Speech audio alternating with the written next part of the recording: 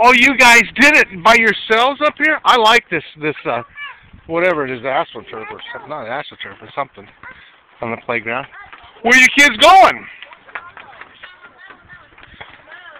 You walk carefully. You be careful.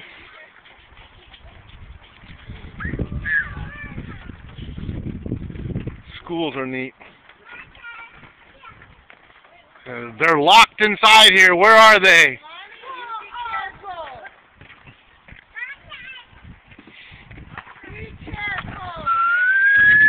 Who is it? wow. Was that fun, kids?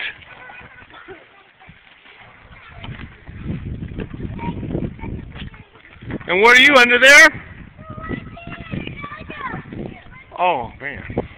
She's going to show another way to get up. Oh, the stairs, the easy way. Okay, go ahead. You help, you go. You got to learn about gravity. But you be careful with that gravity, okay? Huh? You guys keep disappearing. What was that? You guys keep disappearing. Disappearing? How do you like your new little bicycle riding without the Can I crane? make a video? Ask my mom if you can see the video. Oh, we'll put it on YouTube, on her thing, and then maybe I'll tag others because you've done a great job learning in one day.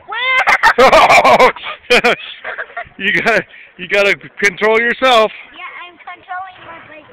You got to control your brakes, and you go, and you got the balance. You got your balance now. Yeah, I Wow. Where are the kids? Oh, there those are the kids going, man.